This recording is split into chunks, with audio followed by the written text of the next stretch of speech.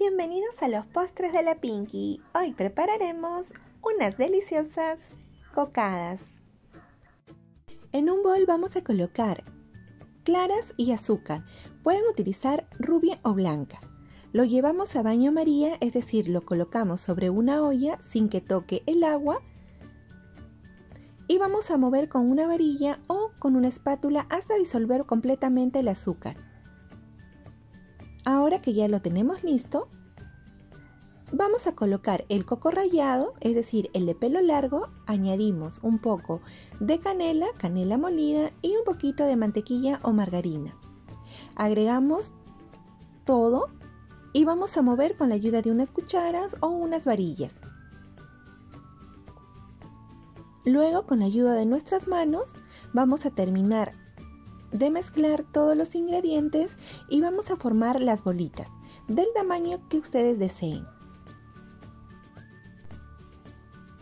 Vamos a tomar un poco de la masita, lo vamos a presionar ligeramente y formar. Lo colocamos en una placa enmantecada o también pueden utilizar un tapete de silicona. Este es un postre súper fácil de preparar y queda delicioso.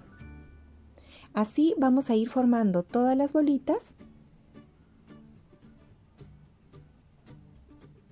y al terminar lo vamos a llevar al horno por un espacio de 30 minutos. Si desean bien doradito pueden ponerle calor arriba para dorar la parte superior. Y al cabo de 30 minutos ya lo tenemos listo. Todavía está un poquito caliente, miren así es como queda, pueden dorarlo para que quede con este tono de abajito bien dorado, ya es a gusto de cada uno.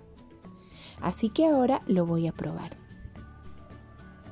Mmm, está riquísimo, así que los animo a que lo puedan preparar en casa y disfrutarlo junto con la familia.